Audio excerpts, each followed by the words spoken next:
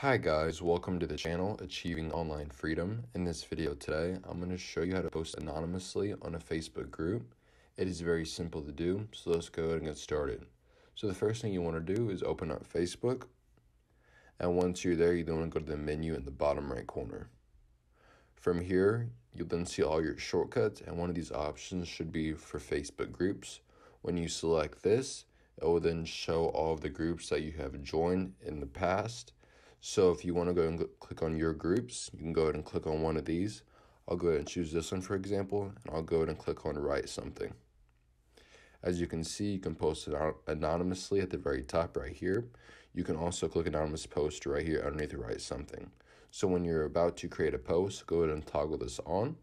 So what this is, is that it protects your privacy so you can feel safe posting personal content.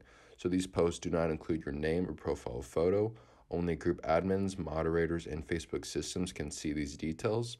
Details you include in anonymous posts could reveal your identity. To protect your privacy, we turned off some options. Also, anonymous posts go directly to admins and moderators for approval, so they'll let you know when your post is published in the group. So if you want to go ahead and post anonymously, go ahead and turn this on.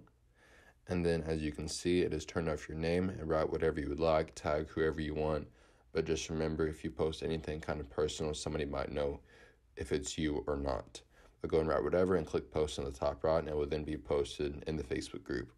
But this is how you could post anonymously on your Facebook group. So if you have any questions, go ahead and leave it in the comments. But I hope this video does help. If it did, please make sure to like and subscribe to my channel. I'm trying to reach a thousand subs by the end of the year, and I cannot do it without your help. Just want to say thank you for watching, and I will see you in the next video.